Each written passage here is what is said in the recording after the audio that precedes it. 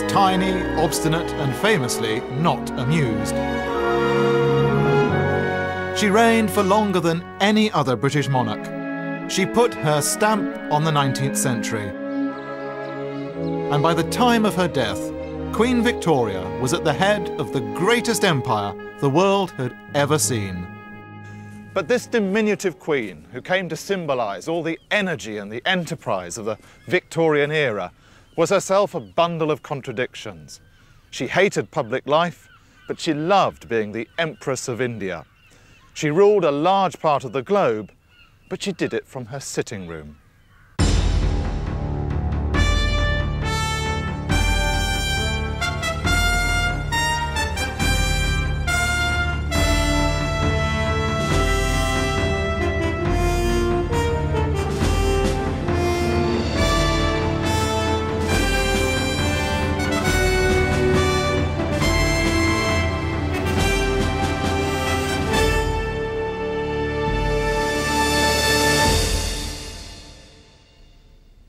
Victoria was born in 1819 into a Hanoverian world of elderly gentlemen who ran the country.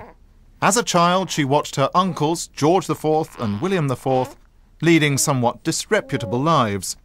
And when, at the age of 12, she realised she herself would one day be queen, she announced, I will be good. She was brought up here at Kensington Palace. She was only six months old when her father died. So for most of her upbringing, she was with a governess, and it was, by her own admission, a melancholy childhood.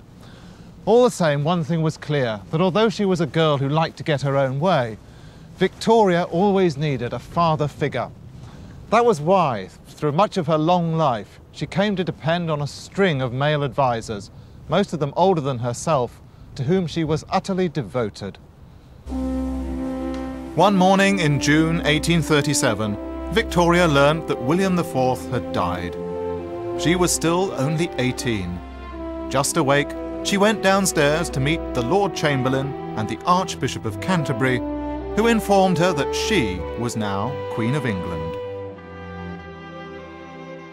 Her coronation was a bit of a farce. One of the attendant lords, going to greet the royal coach, fell down a flight of steps. Then the Archbishop tried to force the ring onto the wrong finger causing Victoria considerable pain. As the ceremony continued in Westminster Abbey, outside a million people were cheering. They were delighted with their new queen and the promise of a new age.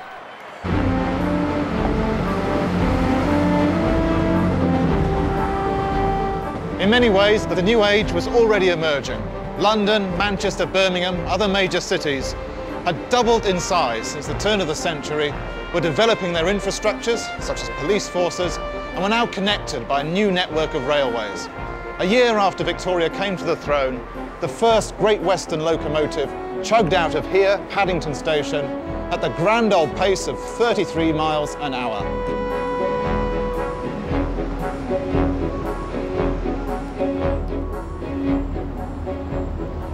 Meanwhile, Victoria was eager to make an impression. Her uncle William had warned her to go slowly, not to make any big promises or hasty replies. But Victoria was renowned for her spirit and determination, and anyone who was going to advise her would clearly need a great deal of tact and diplomacy. Many 18-year-olds would have been intimidated by elderly gentlemen with years of political experience. But Victoria faced her privy councillors with surprising confidence. She spoke in a small but clear voice, and the elderly gents were swept away. She filled the room, said the Duke of Wellington. Her great adviser was Lord Melbourne, the Whig Prime Minister. He was generous and witty, and they became close. I like him very much and feel confidence in him, she wrote. He is a very straightforward, honest, clever, and good man. Melbourne was devoted to the young Queen, and Victoria valued his advice, but on some subjects she would not budge. One was the bedchamber crisis of 1839, a strange episode involving Victoria's ladies in waiting. In May, Melbourne's government had been defeated and he resigned. The Queen was distraught. All, all my happiness gone, she wrote, in her characteristically melodramatic style. She couldn't face the idea of the cool intellectual Tory Robert Peel as her Prime Minister. And when Peel demanded that she change her Whig ladies in waiting for Tories, she refused. Peel then declined to form a ministry, and a rather shamefaced Melbourne crept back to Downing Street. Victoria, of course, was delighted. She regarded it as a victory for the monarchy. She told Melbourne that he'd have been proud of her composure and great firmness. They wish to treat me like a girl, she wrote, but I will show them that I am Queen of England. A classic example of young Victoria misjudging her power and her importance. Within two years, there was a general election. Melbourne was defeated, Peel romped home. The country wanted Peel as Prime Minister, whatever the Queen thought. Her ladies in waiting were irrelevant. But Peel never gained much influence over Victoria, because the Queen found herself a husband. Prince Albert of Saxe Coburg Gotha was three months younger than Victoria and her first cousin. He was the nephew of her uncle Leopold, who was keen on their match. But Victoria wasn't going to be rushed into marriage. She was wary of being bossed about and she certainly didn't want lots of babies. Victoria's worries melted away only gradually. When they first met in 1836, she liked Albert's manner, but claimed to find him rather dull.